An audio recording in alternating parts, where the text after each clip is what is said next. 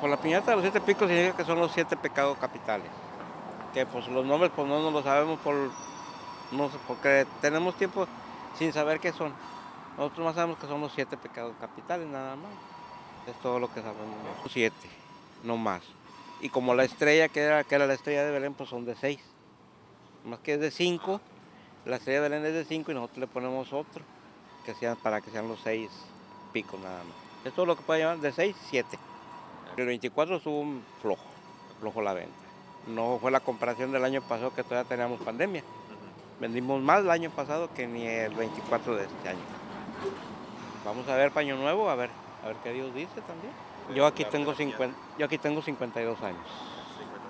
Porque esto era primero mi papá. Más que mi papá falleció y nos quedamos con el negocio. Eh, El hijo que tengo ahorita es el mayor, tiene 43 años.